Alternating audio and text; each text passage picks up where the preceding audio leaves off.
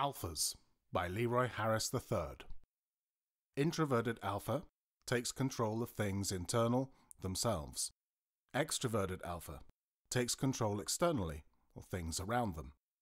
Are you in alpha? Which one?